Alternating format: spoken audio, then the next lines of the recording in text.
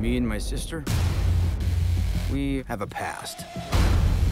We almost died at the hands of a witch. But that past made us stronger. We'd gotten a taste of blood, witch blood.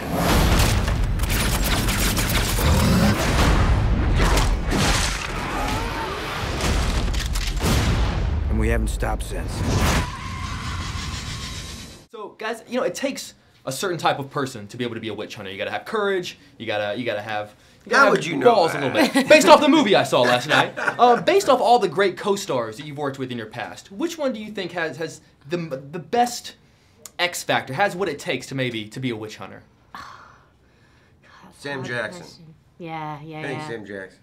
Yeah. Um, for me, Judi Dench.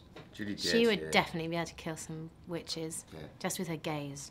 I would kill to see the Judi Dench Sam Jackson sequel of Hansel and Gretel. I love that, that in a way Hansel and Gretel are kind of destined to be witch hunters based off of a moment in their childhood and kind of you know it, it echoes throughout their lives. Sure. What is a moment in your childhood that kind of proves that you were destined to be right here in this moment? That proves that you were destined to be an actor. Uh, my there's a video of me and my, when I was little, um, my sister building a sandcastle. I know I'm building a sand, sandcastle, and she knocks it down, and I'm like, she knocked it down, like totally over the top. I was like four years old. There you go. There it was. That's- My name is Gretel.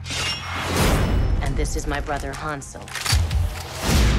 I'm not going to have you telling me what to do. How do you best kill a witch? Cutting off her head tends to work. Hate that one. I, I love this idea that, you know, because we, we're all familiar with the classic Hansel and Gretel fairy tale, and, and very rarely do we get to see where fairy tale characters end up a little bit later on in their life. What is what is another classic fairy tale that, that you love, that you grew up hearing, that you'd kind of like to see, like, where they ended up 15, 20 years later? Um, hmm, hmm. What's Humpty Dumpty doing? Still trying to piece himself back together. Yeah, I wonder if he's missing any parts.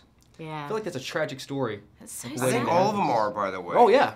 Yeah. I didn't, yeah, fairy tales. It's like, aren't you supposed to read those to your children before you go to bed? Scare it's like, no, man, Right. you don't read this to They're your to children scare the children bed. into submission.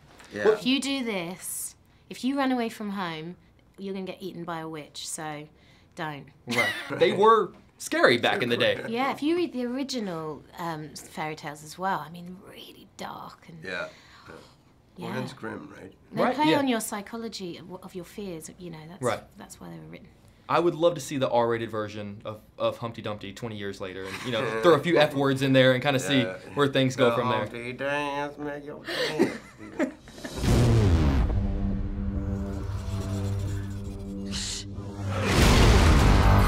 The last two weeks, we have five children taken from us. A witch does not come out in the open like that. I don't think we're hunting witches. There's something else going on here. We have to find those kids. You know, I love uh, the character that you guys have that kind of follows you around. Kind of the he's a fanboy. He's kind of geeking out. It proves that you know even you know hundreds of years ago there were still kind of fanboys geeking out about their celebrities. So I was wondering, flash forward, real life today. What's that the craziest geek out fanboy moment that you've had in your career? Oh my goodness, you must have had so many. Uh, yeah, I think it was in Germany. I don't know, man. You've seen grown ass men and. in, in tights and costumes that are literally made for fifty cents. I love it. it it's, What it's dressed like- up as a character? Yeah, in it's like the some, somebody from the Avengers somehow. Some I, I, love. I appreciate their their verb for life and Wow. Yeah. their Yeah. cardboard. Yeah. yeah, I love it. And It's just it's yeah every day actually. Right. Yeah. So note to self: don't come in costume next time I see you guys. No, I mean I appreciate it. Actually, what I go do love is the is when little kids do it. Right. Yeah. Yeah, that is like the most precious thing ever. That's uh, I never get to do movies that kids see. Let's start with this. Shoot anything that moves. I see you got my invitation.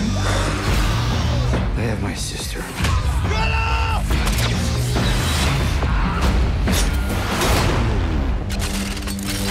Well, that's new.